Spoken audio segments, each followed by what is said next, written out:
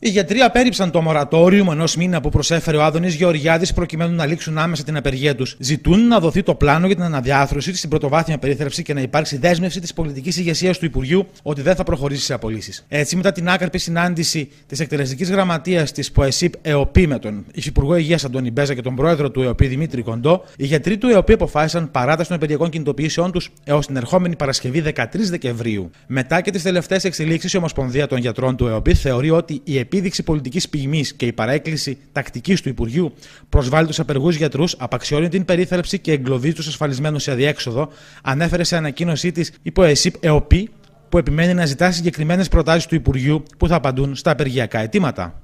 Οι γιατροί του ΕΟΠΗ εμένουν στη θέση τους. Ε, η θέση τους είναι ότι θέλουν, ότι θα προσέλθουν στο διάλογο μόνο εάν ξεκινήσει από μηδενική βάση, δηλαδή αυτό που ζητούν ε, είναι να μην μπουν σε καθεστώς κινητικότητας και διαθεσιμότητας, δηλαδή να μην απολυθεί κανένας γιατρός ναι. και να μην κλείσει καμία μονάδα υγείας του ΕΟΠΗ.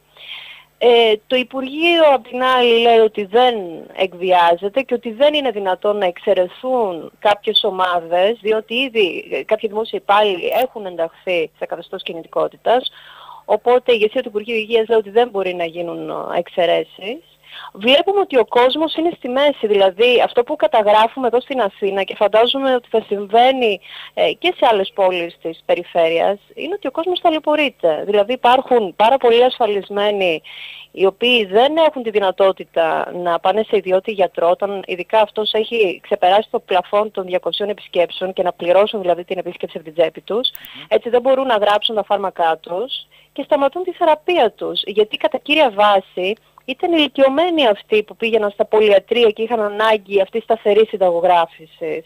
Βλέπουμε λοιπόν ότι ταλαιπωρείται πάρα πολλοί κόσμος επίσης και στα κέντρα αναπηρίας, στα κέντρα πιστοποίησης αναπηρίας, έτσι. Ούτε εκεί πηγαίνουν οι γιατροί του επίλογου της απεργίας και δημιουργούνται τεράστια ε, προβλήματα. Μάλιστα χθες η ηγεσία του Υπουργείου Υγείας ε, τόνισε ότι ε, αν μέχρι την Τετάρτη που θα συζητηθεί εκ νέου στην Επιτροπή Κοινωνικών Υποθέσεων στη Βουλή η νέα μορφή του ΕΟΠΗ. Μέχρι τότε λοιπόν αν δεν προσέλθουν σε διάλογο οι γιατροί, τότε η μεταρρύθμιση θα προχωρήσει με πιο γρήγορους ρυθμούς. Πράγμα το οποίο πώς μπορεί να το μεταφράσει κανείς;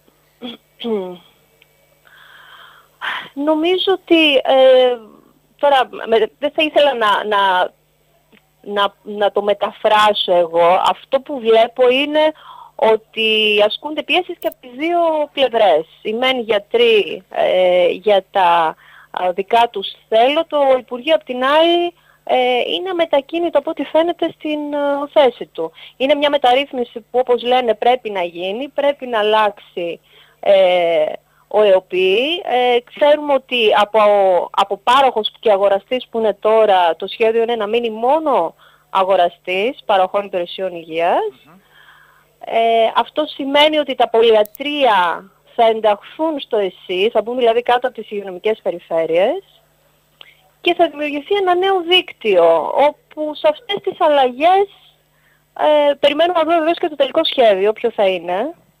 Το πόρισμα θα το λάβει αύριο ε, η ηγεσία του Υπουργείου, της Αρμόδιας Επιτροπής.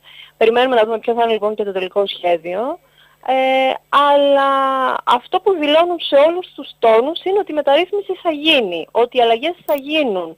Δηλαδή εγώ δεν βλέπω το Υπουργείο να κάνει πίσω ε, σε ό,τι αφορά ε, ε, στο θέμα της κινητικότητας. Ναι. Από εκεί και πέρα δεν ξέρω, φαντάζομαι ότι αν προσέλθουν σε διάλογο μπορεί να βρεθεί μια μέση λύση. Αυτό δεν το ξέρω όμως ποια θα μπορούσε να είναι. Αλλά νομίζω ότι το θέμα της κινητικότητας δεν θα μπορούσε να αλλάξει.